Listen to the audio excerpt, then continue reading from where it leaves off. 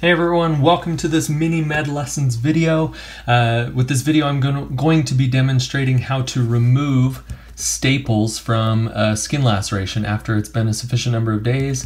These staples have to come out. How do you do that? What's the proper way to remove staples? But first, before I get to that, please go ahead and hit subscribe, hit like, hit that little bell thing so you get notifications. I really appreciate the support, so thank you.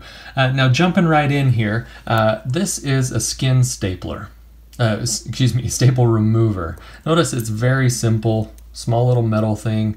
They're generally disposable, um, but there are some reusable ones that can be autoclaved as well, although it's not horribly a sterile procedure, but uh, you want to obviously be as clean as you can anytime you're working with wounds.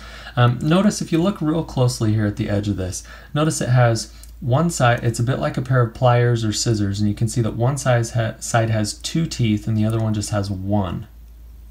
Okay, see that? And so that's very important to understand which one is up and uh, do you have two on the bottom or one on the bottom and there's a correct way and a wrong way. So I'm going to show both of those today as I demonstrate how to remove uh, staples from this laceration.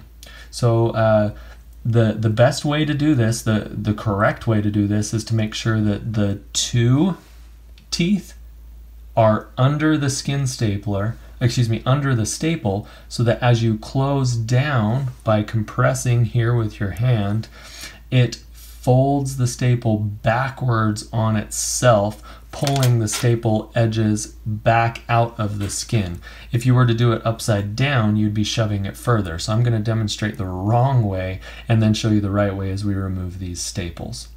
Similar to removing sutures, it's best to do this as in as clean of a way as possible. So it's it's advisable to wear gloves. I'm not going to for the sake of the video today. Apologize. And uh, also, I always recommend using a sterile alcohol swab. Once you've removed a bandage, if the patient had a bandage to keep it covered, remove that, rip open an alcohol swab, and clean off the surface of these staples, an area not soaking it in alcohol but cleaning it off just to help prevent any infection although i don't feel like there's a whole lot of scientific evidence behind using that but you know it, it, helps to create the the feeling for the patient that you're doing your best to keep it clean and and prevent infection Okay, so uh, after the alcohol is kind of dried off there, then we're going to go ahead and remove these staples. So again, remember, really important to have the, the bottom part of your staple remover be the part that goes underneath that staple so that as you clamp down, it's going to fold the staple backwards and you're going to kind of give gentle pressure back as you're pulling up. So there's no pressure down towards the patient's skin. Notice how it just simply folded that suture, uh, that suture, that staple backwards on itself, pulling it out of the patient's skin. Pretty neat, right? But can you see how you could do that wrong as well? So let me demonstrate how you might do it incorrectly, and please don't do it this way.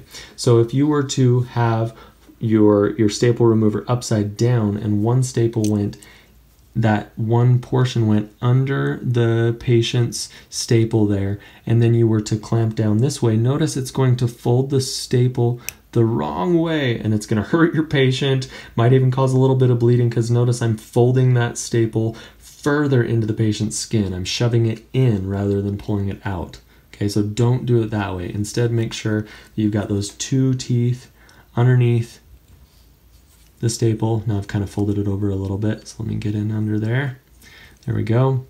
And then you're going to simply gently pull down as you uh, squeeze down on your suture staple remover and it will gently fold that back out of the patient's skin.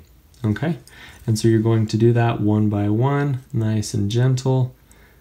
It can cause a little bit of discomfort for the patient. You might even get a little bit of bleeding from some of these spots. Just uh, kind of pat that with a little bit of dry gauze um, and and it should be just fine. It shouldn't bleed much at all, but you want to be nice and careful. Now notice as you're doing this, you don't want to be putting any downward pressure on the patient's laceration because if you if you're shoving down too far, notice you've got some very recently healed skin. Now obviously in a real patient, this should be healed up. If you are removing staples on a patient and it pops open like this, stop immediately and let a, a provider know about that, okay? unless you're the provider, obviously. If you're the provider, just stop immediately. They need to heal a little bit longer and, and go from there. But now, if you are uh, doing this on a real patient, you want to make sure that you are pulling up just a little bit, not not a lot, but just a little bit. So as you are uh, pushing and squeezing with your staple remover, you're not pushing into the patient's newly healed laceration at all. Okay. And this is uh, very simple. It's very straightforward. Just like removing uh, sutures, staple removal is not difficult. You just need to make sure that you use the right technique so that you don't hurt your patient and you remove them without causing any uh, risk of infection or dehiscence of that wound. So hopefully that makes sense. If you didn't already watch my video about how to place those staples, please go back and watch that video. Um, let me know if you have any questions. Again, go ahead and hit subscribe, hit like, follow, follow along. I'm trying to post a lot of good, useful videos for you. So thank you very much. Appreciate the support.